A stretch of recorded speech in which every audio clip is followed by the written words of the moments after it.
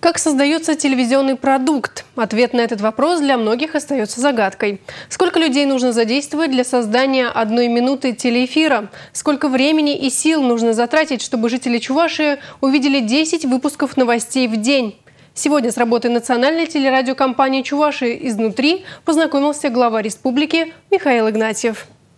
Быть в кадре для главы Чувашии – дело привычное. А что на самом деле происходит по ту сторону камеры? Вот главный режиссер Екатерина Лапина готовит оформление межэфирных программ. Сотрудники ее отдела монтируют новостные сюжеты. Корреспондент Татьяна Леонтьева начитывает закадровый текст. Все это происходит в типичной для телевизионщиков суете. Успеть к выпуску – здесь главная задача. Общая программа называется «Экономика в деталях», как раз про объекты инновационной инфраструктуры в Чувашии. Вот мы были в центре прототипирования, очень интересно.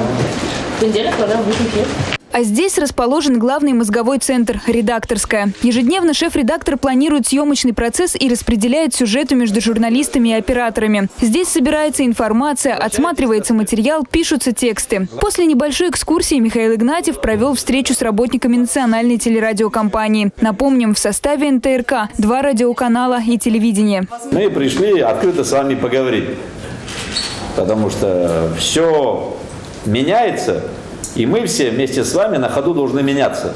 Значит, и с этой точки зрения у нас такой открытый диалог, открытая дискуссия, можно сказать, мозговая атака. Вопросов для обсуждения возникло немало. Один из главных – сотрудничество органов власти и средств массовой информации, от которого зависит открытость региона и доверие жителей. Задача СМИ – оперативно доставлять до зрителей, слушателей и читателей достоверную информацию, чтобы обеспечить обратную связь.